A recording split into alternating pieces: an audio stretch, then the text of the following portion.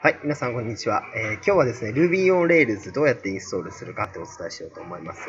えーまずですね、ブラウザ立ち上げてですね、あのここに行ってください。Ruby on Rails.org ってところで行くとですね、まあこれはあのホームページですね。えーそれを行って、まあ、レーテスバージョンはダウンロードするとかいろいろあります。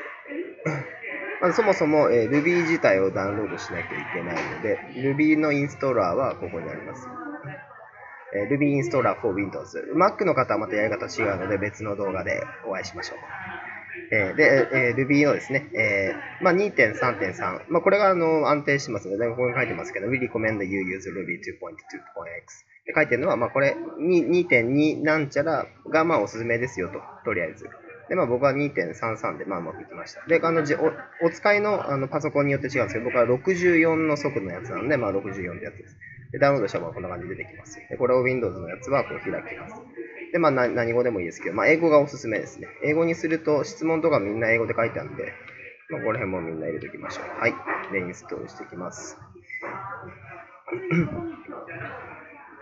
普通にこれインストールダダウンロードが始まるんですけど、これ待ちましょうか。はい、こんな感じですね。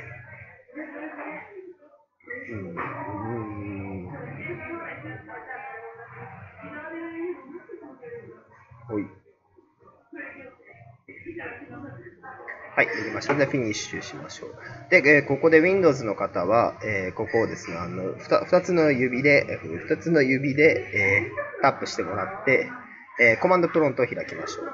コマンドプラントに行って、今ちゃんと Rails 入ったかな、あ、Rails じゃない、え Ruby が入ったかなと確認したいので、Ruby の V とやると、V はバージョンと言いう意味です。Ruby の最新、今のバージョン何ですかで見てください。2.3.3って書いてるのは、今2.3.3のバージョンが入ったってことです。で、これでまあ Ruby が、えできました。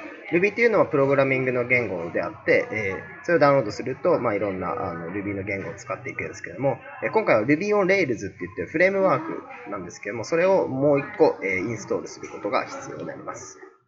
はい、じゃあ次の動画でお会いしましょう。ありがとうございました。